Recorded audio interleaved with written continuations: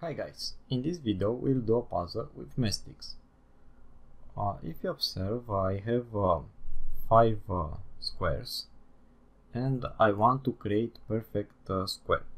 Okay, a perfect square it's a square that don't use uh, or don't share a side with another uh, square. For example, this and this square share this side, okay?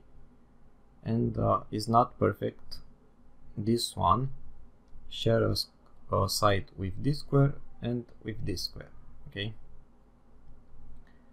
Uh, and to create a perfect square for example uh, if I remove this and this this one remain a perfect square because does doesn't uh, share any side if uh, no other square.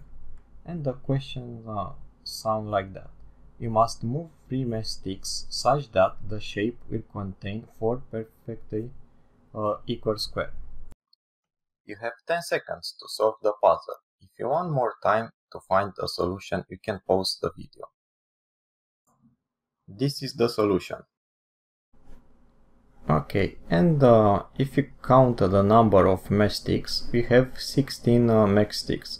That means you can create only and only four perfect squares okay? And uh, if you keep uh, the squares on diagonals you must keep this free and you must uh, break this one and this one okay? And uh, you can uh, create the other one uh, here up or here up. Let's create it on the right. Okay I move this one here and this one here and uh, if you observe this one is perfect.